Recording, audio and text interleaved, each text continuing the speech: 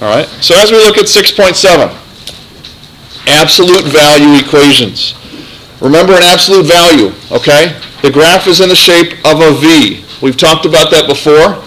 Anytime you have an absolute value equation, the graph is in the shape of a V. Now, up until now, all of your absolute value equations that we've had, John, have been very simple. They've been vertical, up and down on the x and y axis for the most part, or sometimes left and right.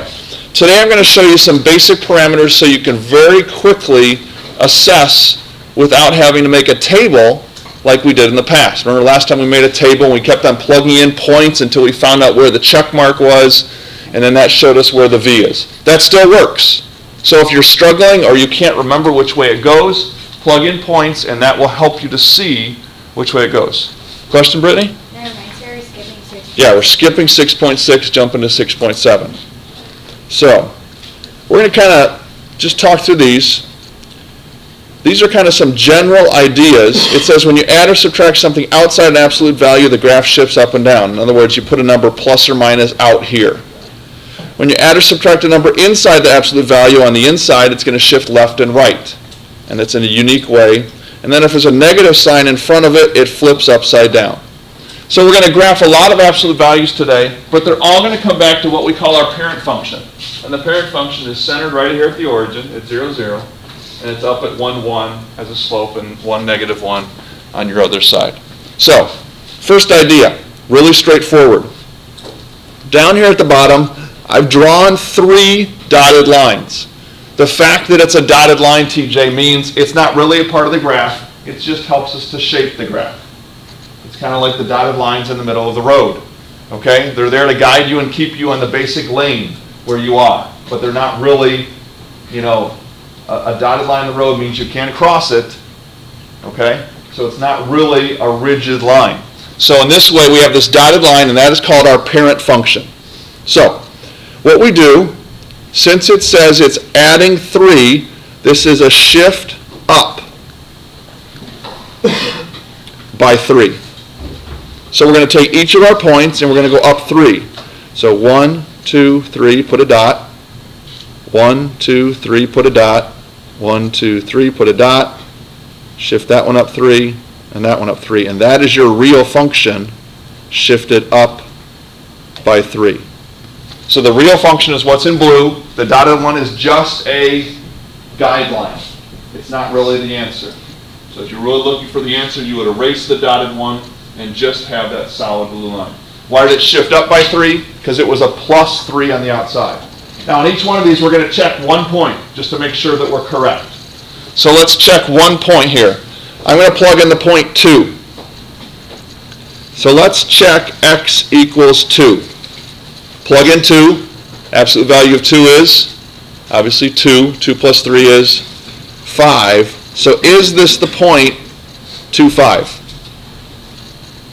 If it is, you you have a pretty good chance that it does check.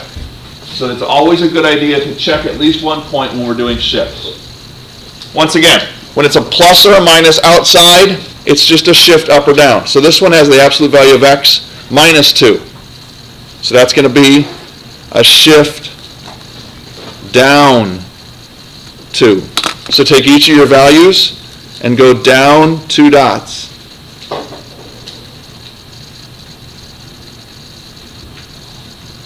Should end up something like that. Draw your line. An absolute value has to be a V. Make sure your V follows the path of the other one. Make sure it doesn't like cross over it. It should be an exact replica, just slid down. Imagine you're cutting and pasting, you pick it up, you select it, and you slide it down two units. Now let's check a point. I'm going to try negative 3. Doesn't have to be negative or positive. Let's try x equals negative 3. So what's the absolute value of negative 3 minus 2? Absolute value of negative 3? 3 minus 2? 1. So, at negative 3, is it positive 1? It is. So there's our check. A check is a crucial piece to making sure that we did the right slide. If it doesn't work out, obviously that's a good indication that you made some kind of small mistake. All right, so our third one, which way does it shift, up or down? Okay, it shifts up one unit. So shift up one unit.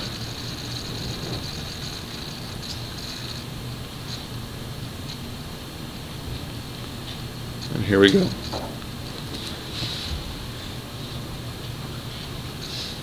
Let's try a point. I'm going to pick negative 4. Let's try x equals negative 4. Plug it in. y equals the absolute value of negative 4 plus 1. What should y be equal to?